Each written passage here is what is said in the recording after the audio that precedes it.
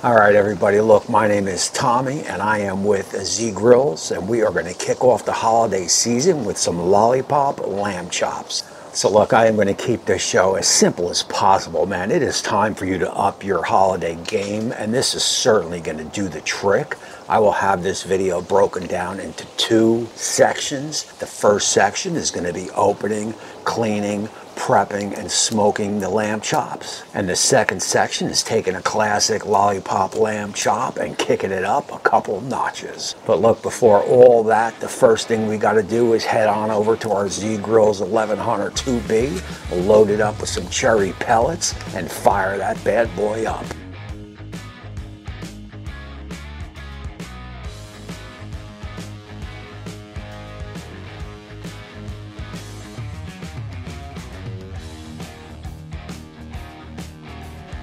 All right, guys, look, we got our uh, we got our Z all fired up. Now, look, we are going to want to run this at the smoke setting. We are going to want to put down as much smoke on these bad boys as we could. But before all that, we have to open these up. Now, these here are Australian and they are already Frenched. If you could find them French, definitely get them French. What basically what that means is in between the bones here is all cleaned out. Because if you got to do it yourself, I mean, you can, and there are plenty of videos showing you how.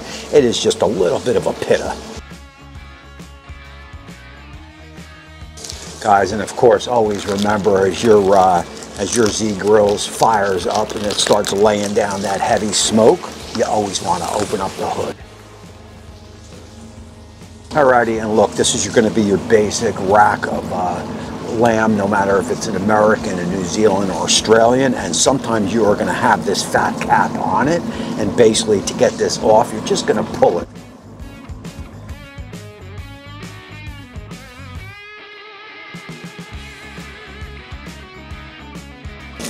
It is a little slippery, so just take your time.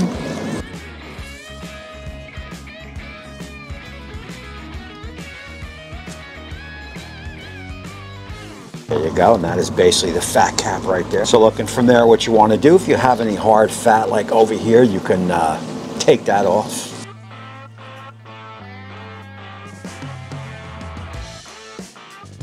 You just want to be very careful, man, because the meat is, uh, there's not that much on here, so you do not want to strip any away like you would, say, a brisket.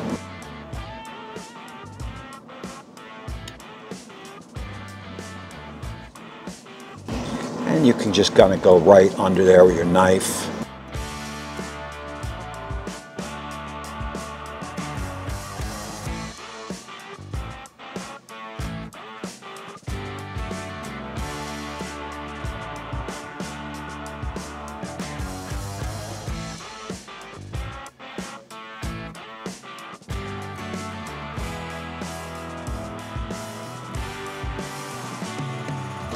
Just slowly peck away at that silver skin.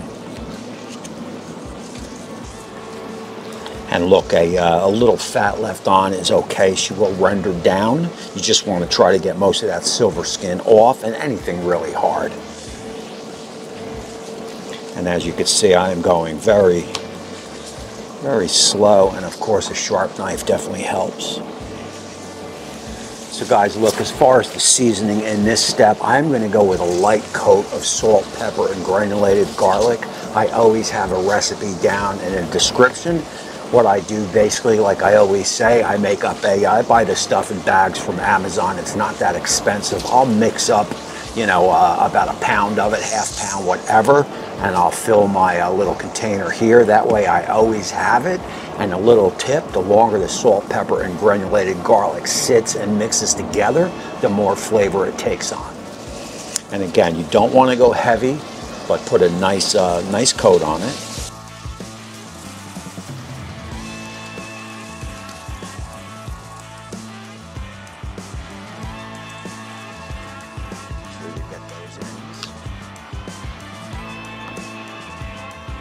And of course, we are outside, so we are playing the wind. yeah, not playing to win, but playing the wind.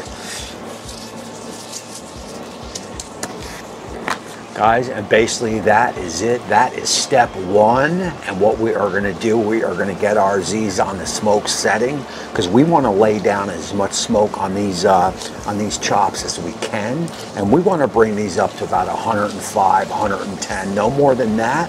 And after that, I'll show you the next step.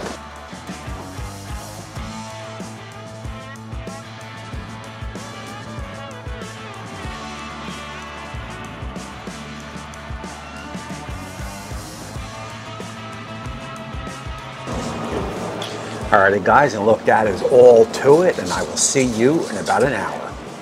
Alright guys, look, we're sitting at about an hour and 20 minutes, and we are perfectly at that 110 internal, and I can tell you I've been watching, and the Z-Grill has definitely been laying down the smoke. Let's go in, let's get them on the board, where they will rest for about 10-15 minutes.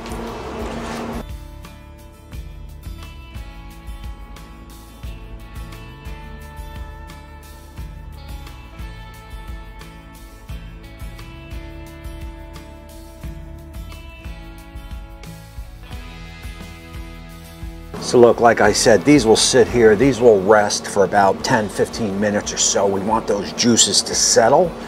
In the meantime, what I am gonna do is I'm gonna set up my little workstation here and get us going for the next step.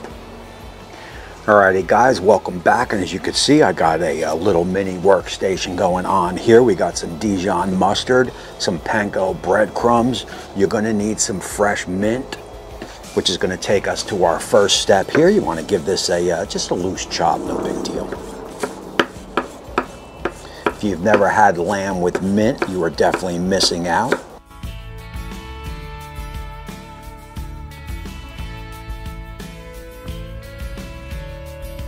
So basically here what we're looking to do first is we are looking to season up our breadcrumbs.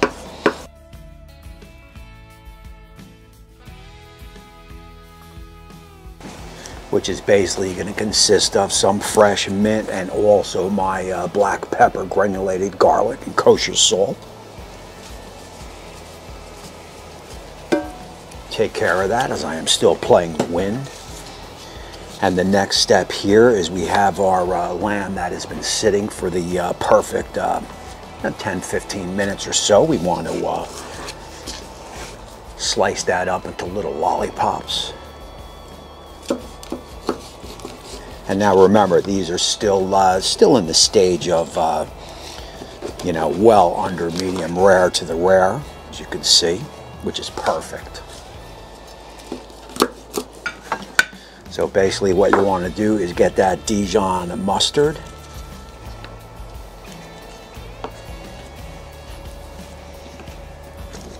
Now look, anytime I am doing a recipe like this and I am working a uh, saute pan as this is here, I like to get everything prepped out, everything ready. I do not want to do, you know, one or two or three chops, put them in the saute pan.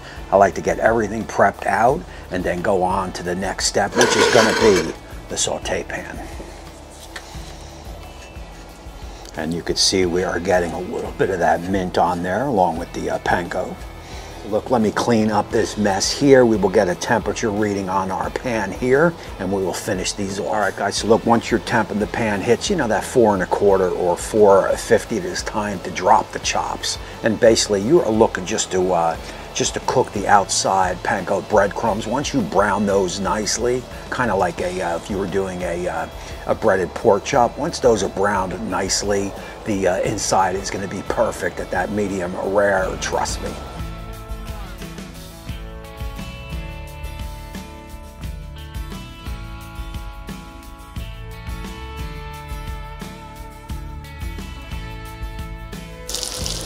And right away you get a uh, you get the smell of the mint leaves with the uh, with the Dijon mustard. Oh yeah.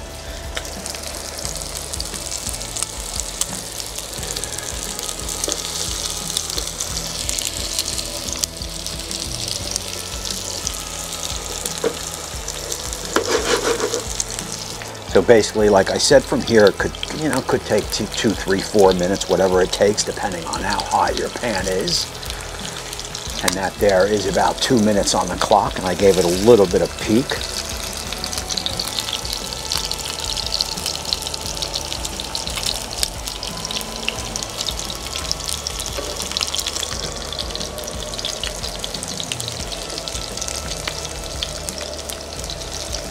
And of course, the, uh, the uh, thicker the chop, you may want to leave those in a little bit longer, depending on how you want yours cooked. There's nothing better than a, uh, than a crunchy panko breadcrumb. Just kind of work them. You could see when they're not quite cooked yet compared to when they are cooked.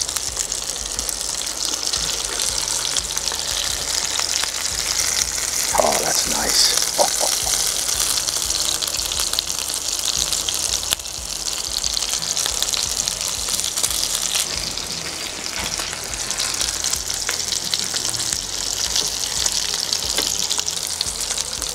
So guys, I will finish. Uh, I will finish sautéing these here. I will clear out my uh, little workstation, and then I will give you a little insight on how I may plate these up.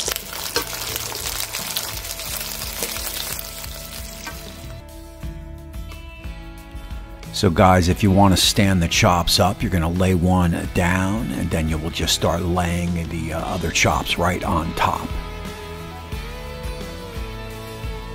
And just kind of work them off one another just like that.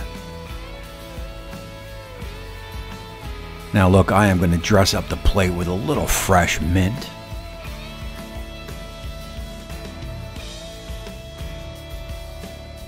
And you can also do a loose chop and put a little mint on top. I got some nice rosemary. I'll do a, a little stalk on each side and you got to have that fresh mint jelly that is going down. Alrighty guys, and there you have it, man. This would be something the way I would set it up on my table. Maybe I'd have two or three of these laid out with, you know, four or five chops on each one. That way people can just kind of grab them and go. But look, of course, I have to do a on-screen taste test. And I am a big fan of mint on chops, so we will get a little bit of mint on there. Again, happy holidays to all.